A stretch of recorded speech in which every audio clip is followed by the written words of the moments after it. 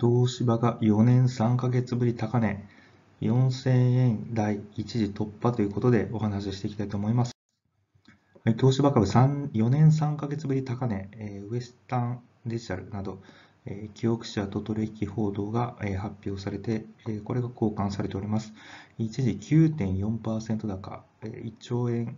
超えている規模ですけれども、時価総額、株価4090円と2016年12月26日狙いの高値を記録しております。記憶者の価値を300億ドルと評価しておりまして、未だ IPO の可能性も残っております。東芝株一時4.9%高、4090円を位置づけておりまして、これが本日最高値となっておりましたが、2016年12月26日以来ですね、4年3ヶ月ぶりの高値ということです。同社が4割出資する旧東芝メモリーですね、記憶者に対して、米マイクロンおよびウエスタンデジタルがそれぞれ取引を検討しているというふうに報じられております。記憶者の広報担当は、まあ、憶測に対してはコメントを控えるとした上で IPO に対して、え適切な時期を見極めていきたいと、まあ、10月頃と言われてますけども、まあ、コロナでね、遅れて、昨年はできなかったんですけれども、改めてですね、やっていきたいと答えております。はい、えー、東芝がですね、40.6%株式を握ってます、えー、記憶者ですね。えー、同じく、えー、半導体メモリをやってます、えー、マイクロンだったりとか、ウエスタンデジタルですね、こちら傘下に、えー、サンディスクありますけれども、買収の可能性を検討していると報じられております。まあこの先ほど言った通り300億ドル、3兆3000億円規模の、えー、そういうふうに評価しているということですね。で、今ですね、東芝が40.6%持っているということなんで、まあ、1兆3000億円というふうになってるんですけど、東芝自体の時価総額が1兆7000億円ですね。なので、東芝本体4000億円ぐらいしかないというと、そんなことはないので、ないでしょうということで、まあ、もっと東芝評価されてもいいんじゃないかなということで、まあ、今回東芝が大幅反発しているっていう関係者ですね。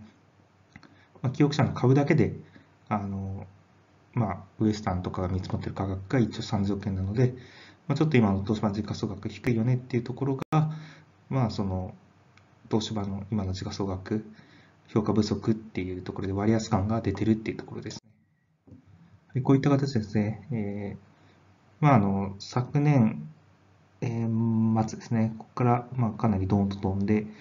で、またズンズンズンと上がっていって、またバーンと今回、えー、このニュースを受けて跳ねて4000台突破ということですね。ただ、まあ、終値としては3910円ということで、えー、まあ、昨年、えー、まあ、今年の、えー、年初来はもちろんなんですけれども、まあ、この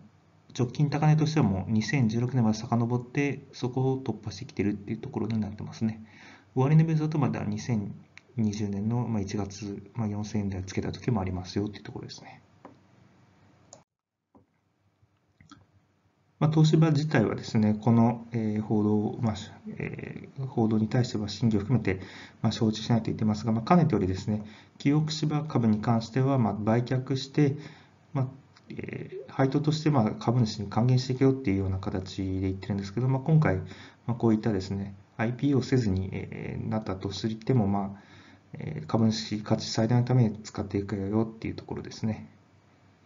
はい。まあ、とにかくですね、まあ、マイクロン、ウエスタンデジタルが、まあ、M&A を検討していて、まあ、各々が、まあ、300億ドルぐらいですね、評価する可能性があるというふうに、まあ、報じているというところで、まあ、かなり大きく評価されてるなっていうような感じですね。